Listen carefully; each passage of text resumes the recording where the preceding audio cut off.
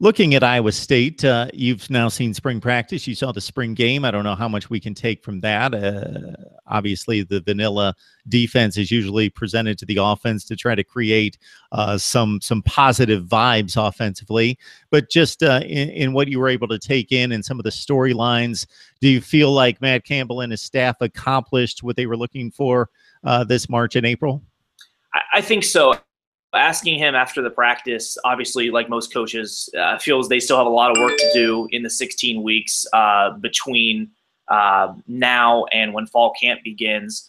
But I think going into year two, you, you're going to start to see a lot of the talent that Matt Campbell has recruited start to take over. Obviously, they bring in uh, veteran guys like a Joel Lanning, who is going through a position change. But then they also, on the offensive side, have a guy like Allen Lazard, who could have left for the NFL last year, probably would have been a late round pick, but now he has the opportunity to come back and possibly be one of the best uh, wide receivers in the Big 12, maybe sneak into the second or third round of the draft. If he has a really great year, we could see him as a late first rounder. He's got that 6'5, 230 pound frame that uh, most NFL teams salivate over. Almost, I almost say he's like a Calvin Johnson, but he's he's built in that mold as far as being that big time wide receiver.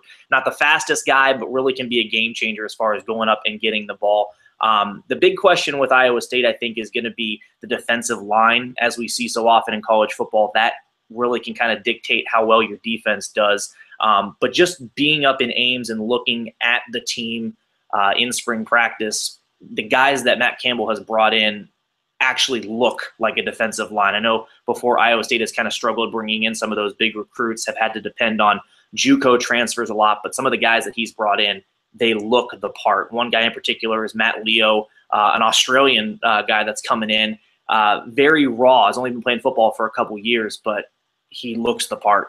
Samoan, very much a big, big build. Uh, it'll be interesting to see him kind of work his way into the rotation, uh, starting off in the in the fall camp, uh, which what we hope he'll make his way into some starting time, um, you know, within the first part of the season.